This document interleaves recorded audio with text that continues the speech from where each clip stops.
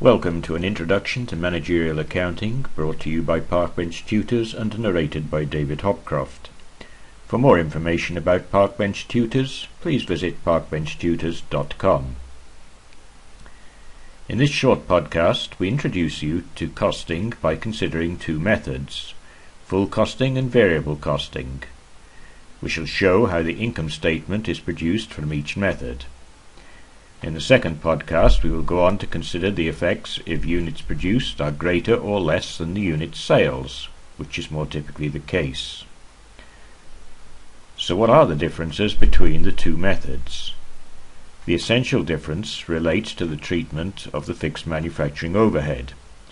Under full costing, this is treated as a product cost.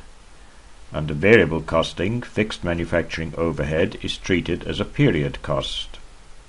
You will also come across other terms and may find full costing referred to as absorption costing. For external reporting purposes, a company is required to use full costing, but for managerial accounting, more information can usually be obtained from variable costing.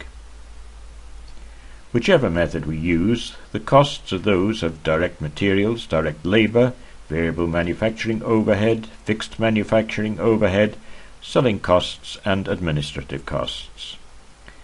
Remember that selling and administrative costs are treated as period costs and, until sold, other costs are product costs. All product costs for goods not sold are regarded as inventory, whilst the period costs will be treated as expenses.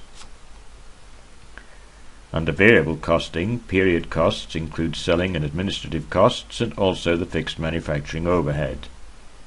Product costs will only include direct material, direct labour and variable manufacturing overhead. Period costs are treated as expenses for the period in which they occur.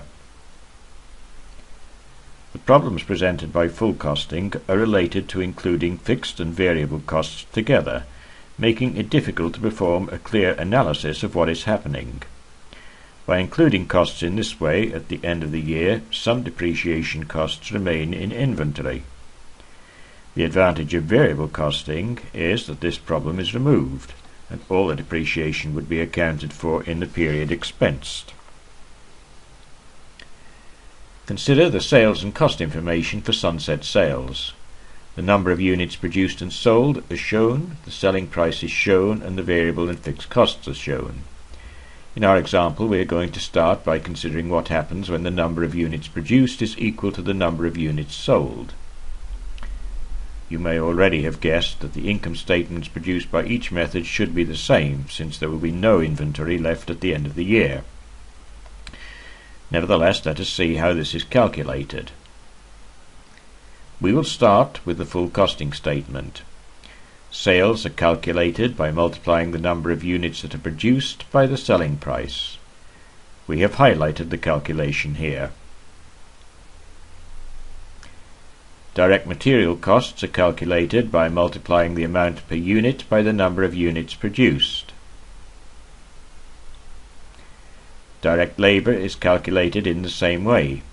Multiply the amount of labour per unit by the number of units produced. Variable manufacturing overhead is the amount of variable overhead per unit multiplied by the number of units produced. Fixed manufacturing overhead is now entered. To obtain the gross margin, we subtract the total of costs that we have calculated from the figure for sales. We now calculate the selling expense, which will be the fixed expense plus the variable expenses for the number of units sold.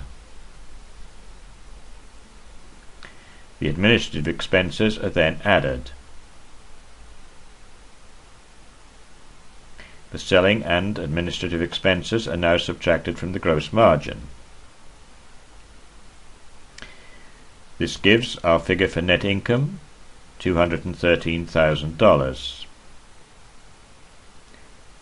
Now we shall take a look at the income statement produced as a result of variable costing. The figure for sales remains the same. The sales per unit multiplied by the number of units sold. The figures for direct material, direct labour and variable manufacturing overhead are calculated in the same way as for a full costing statement. We are now going to separate the variable selling costs from the fixed selling costs. Variable selling costs will be the variable cost per unit multiplied by the number of units sold. There are no variable administrative costs in our example, so we shall now enter all the fixed costs for manufacturing, overhead, selling and for administrative expense. We subtract all the expenses from the sales figures and we have a figure for net income of $213,000. This illustrates that when units produced are equal to units sold, then the net income will be the same whichever method we use. Although net income is the same, note that we enter the variable selling costs differently. Uh, to understand what happens when more boats are produced than sold, we need to look at how we would determine unit costs under full costing. The unit costs will be equal to the sum of the variable production costs and fixed production costs divided by the number of units produced. The full costing income statement is shown using this method. Significant change is that of cost of goods sold. The cost of goods sold is determined using the unit cost of goods sold. Under full costing, we take direct materials, direct labour and variable overhead, multiply this by units produced, add fixed manufacturing overhead, and divide by units produced. The unit cost is multiplied by actual units sold to get cost of goods sold. Our figure for net income is still $213,000. The presentation of the income statement under variable costing also gave the same figure for net income, $213,000. Remember, this is only the situation when units produced is equal to units sold. We can now go to our second podcast to show what happens when units produced differs from units sold. This ends our third pod first podcast on fixed and variable costing, brought to you by Parkbench Tutors and narrated by David Hopcroft. Thank you for watching and for listening. We wish you success in your studies. For more information about Parkbench Tutors, please visit parkbenchtutors.com.